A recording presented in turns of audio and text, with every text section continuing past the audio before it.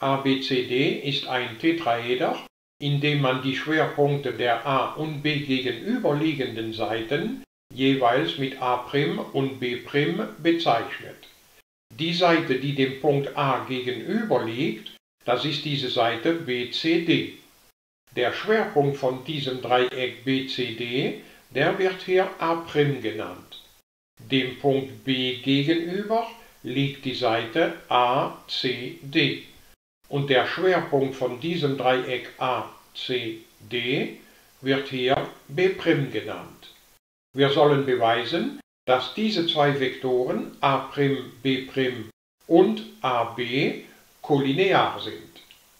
Beginnen wir mit dem Mittelpunkt dieser Kante CD und nennen den M. Wir werden jetzt diesen Quervektor a'b' zerlegen in Vektor a'm plus Vektor mb', also so.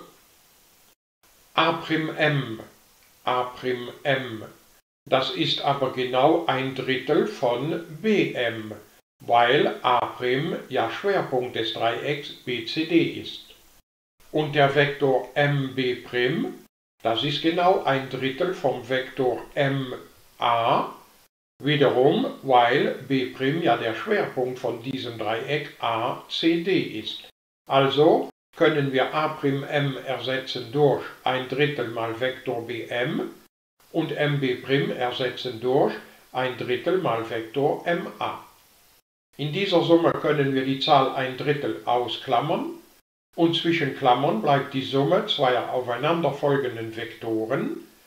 Diese Summe ergibt dann Vektor BA.